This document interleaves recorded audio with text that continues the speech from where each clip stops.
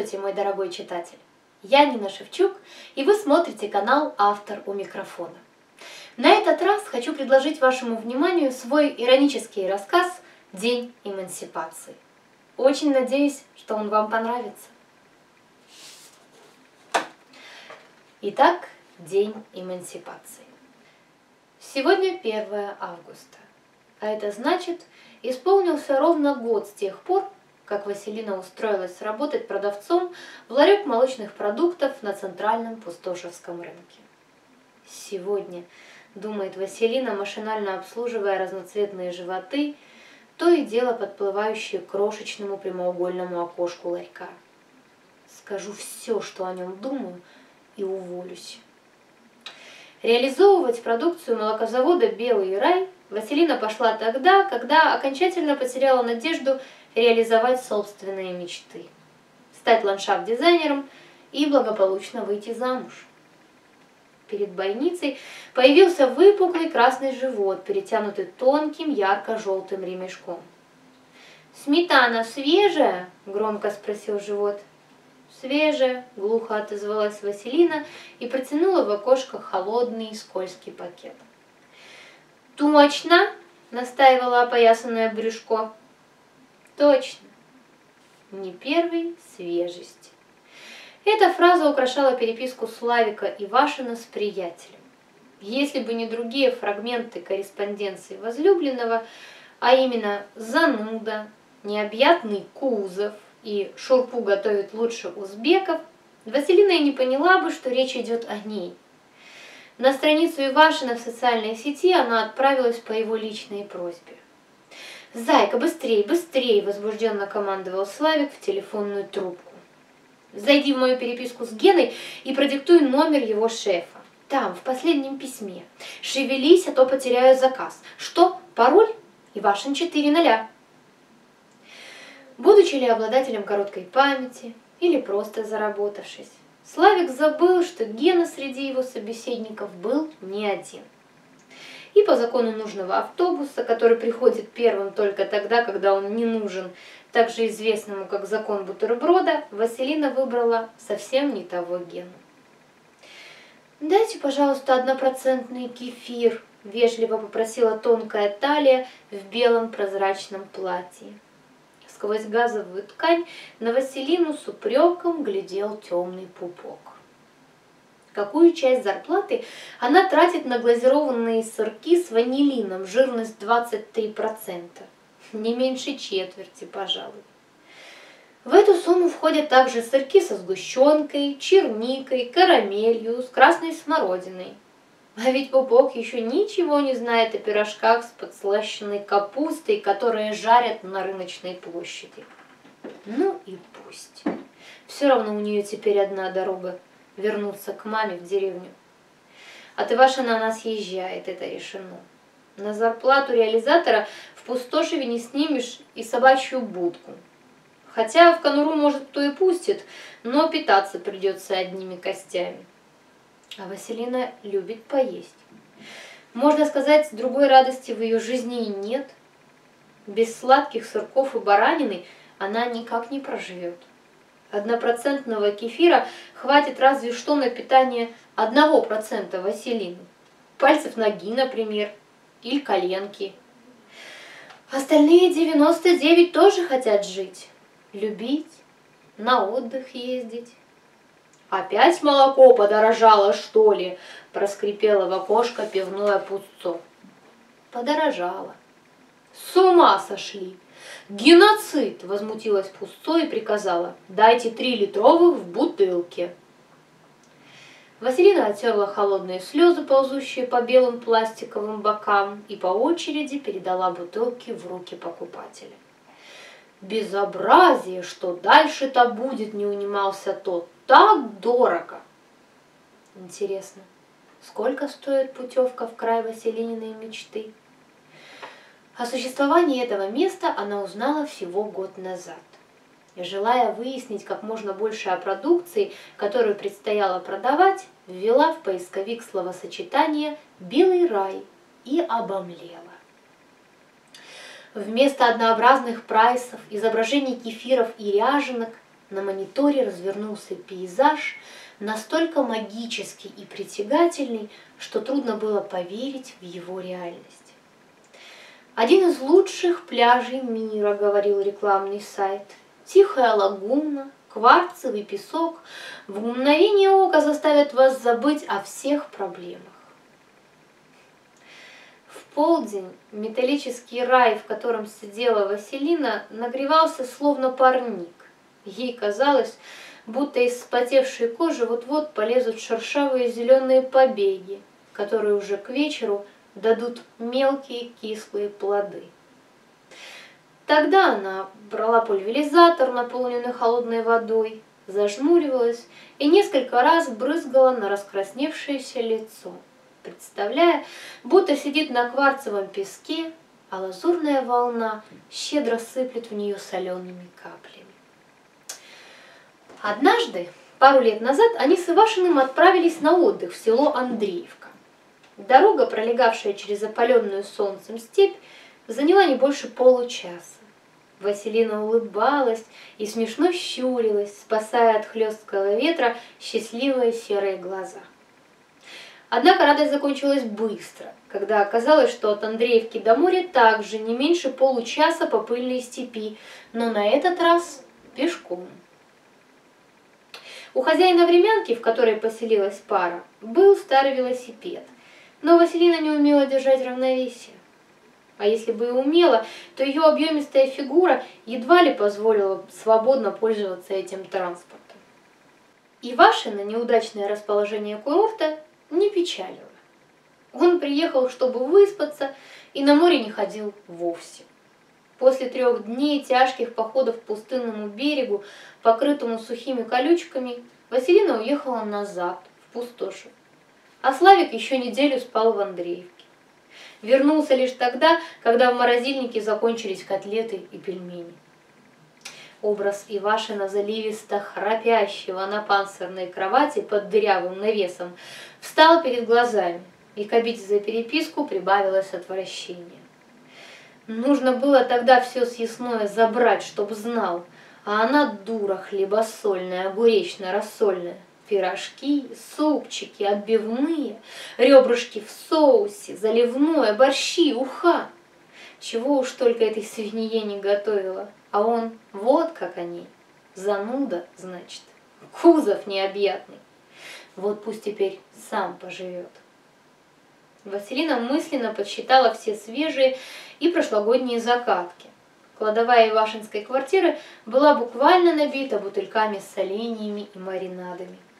Овощи, компоты, куриная тушенка – все до единого разносолы поедут к маме в деревню. Останутся только сухарики, которые она для панировки давила. «Тетя, тетя, дайте клубничный йогурт!» Маленькая веснущатая личика нетерпеливо подпрыгивала у окошка. Завитки волос на лбу подрагивали, косички торчали, словно уши у шкодливого котенка. Василина улыбнулась и взяла горсть теплой мелочи, которую девочка принесла в крепко сжатой ладошке. Потом достала из холодильника баночку и внимательно рассмотрела дату, не поработал ли над ней с ацетоном и маркером хозяин ларька. «Вот, бери». Девочка выхватила йогурт, и темноволосая головка исчезла. Свои лица покупатели показывали Василине редко. Как правило, в трех случаях. Были пьяны и, как следствие, игривы. Остались недовольны товаром и пришли ругаться и требовать назад деньги. Или если их животы недостаточно возвысились над землей в силу юного возраста. Может, хорошо, что все так сложилось с Ивашиным? Что, если бы они уже поженились и детей нарожали? Дома в деревне ее и так никто не ждет с распростертыми объятиями. Мать кормит двух питомцев, младшую дочку Аньку, которая бросила училище и не хочет работать, и отчима, дядю Витю, который очень хочет работать, но не может из-за увлечения горячительными напитками. И вообще, глубинка нынче по контрастам обойдет любой Стамбул. У каждой старушки в кармане халата мобильный, в домах плазменные телевизоры стоят – а разведенная женщина с детьми все так же брошенка с прицепом. Будь у нее дочка, вот хоть бы как эта озорная, с косичками, пришлось бы и Ивашину гадости его мерзкие простить. Впрочем, детей он сам не хочет. И хорошо, хорошо. Кто-то тихо поскреб дверь ларька, потом ржавые петли скрипнули, и на пороге возникла Гульнар, продавец из хлебного. «Ну как ты? Держишься?» – спросила она, сочувственно моргая ужасно длинными густыми ресницами. Утром Василина не выдержала и рассказала об инциденте с Ивашиным. Уж очень хотелось с кем-то поделиться. И теперь с интервалом примерно в час Гульнар приходила с одним и тем же вопросом и давала один и тот же совет. «Не надо горячиться, да? Уйти всегда успеешь. У меня и похуже бывало». И женщина пускалась во все новые рассказы о собственных злоключениях. Показывала шрам на ноге, яростно расширяла красивые черные глаза, потрясала в воздухе маленькой смуглой ладошкой. А знаешь, как он меня иногда называет? Она понижала голос и выдавала какую-нибудь фразу на родном языке.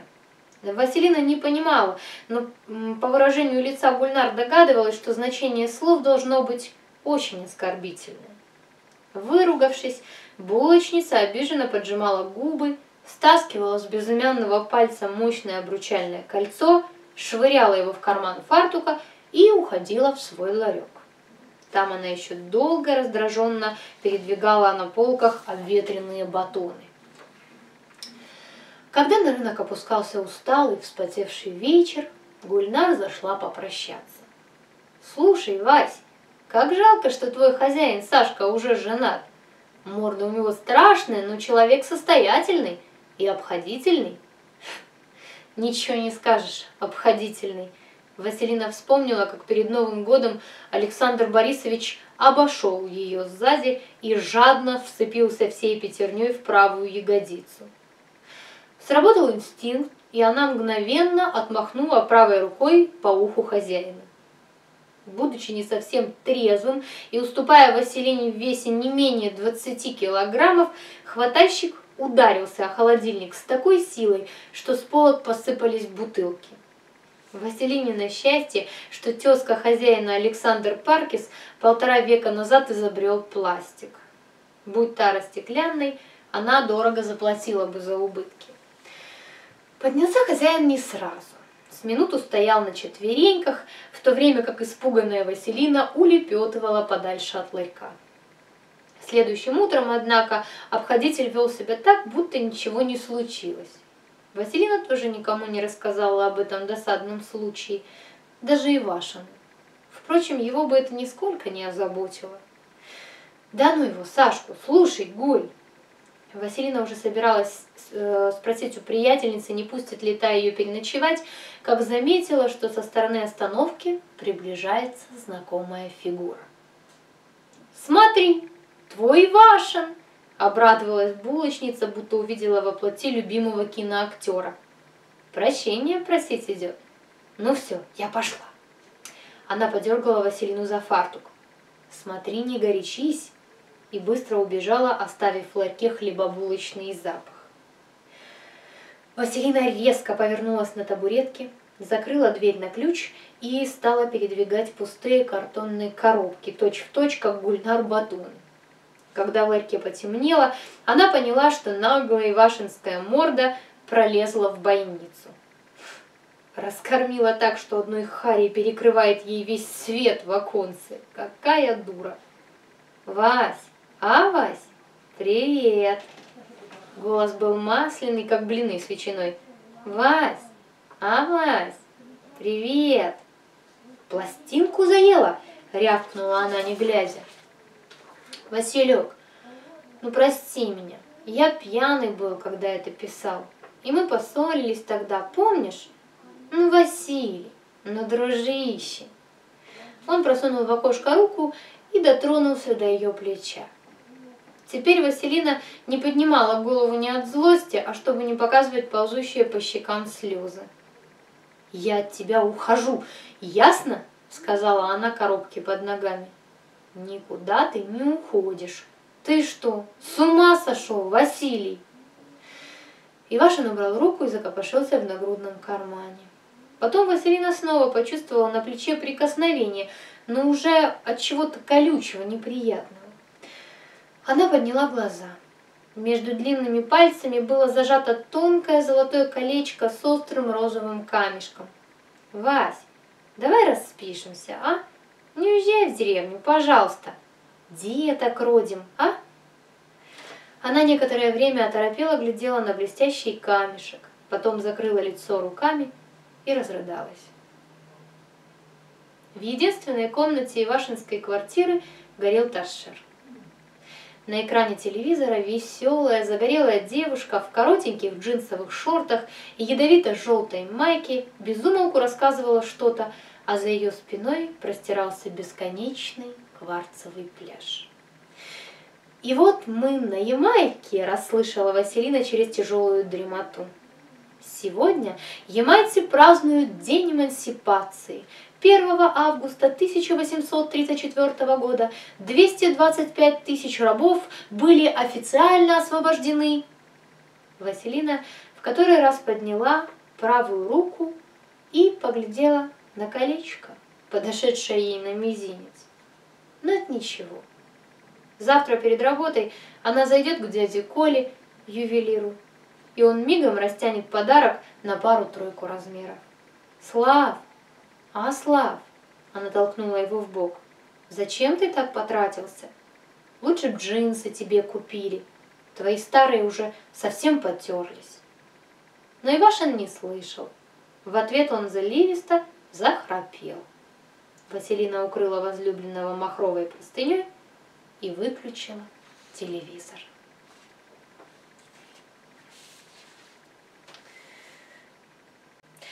Огромное спасибо за внимание к моему творчеству. Если вам понравился сегодняшний рассказ и вы хотите познакомиться с другими моими работами, то сделать это можно на сайте, адрес которого вы сейчас видите на экране. Также на этом сайте вы найдете информацию о книге «По дороге с облаками». Это сборник моих избранных работ. Еще раз спасибо и до новых встреч!